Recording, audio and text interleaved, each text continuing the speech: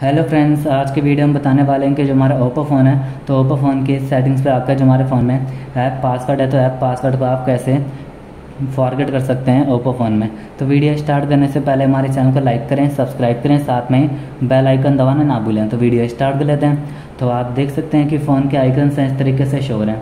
तो आपको स्वाइप करना है स्वाइप करते ही ऑल आइकन अपने आते हैं। तो इसमें जो हमारा आइकन आता है सेटिंग्स आइकन क्लिक करते ही फ़ोन की सेटिंग्स अपने आती है। तो जो हमारे फ़ोन में ऐप ऐप पासवर्ड है तो ऐप पासवर्ड को आप कैसे फॉरगेट कर सकते हैं। सबसे पहले आपको क्लिक करना है प्राइवेसी सेटिंग पे। क्लिक करने के बाद हमारे पास ये ऑप्शन आ गया फिर आपको इस पर क्लिक कर देना है। तो हम इसको फॉरवर्ड करना चाहते हैं, कोई भी रॉन्ग पासवर्ड डालना है फॉरगेट का ऑप्शन आ जाएगा।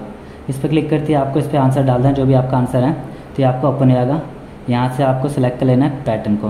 तो हम इसको फॉरगेट करना चाहते हैं। तो पहले आपको फॉरवर्ड करना है तो आपको जो पासवर्ड लगा उसको ही आपको लगाना पड़ेगा।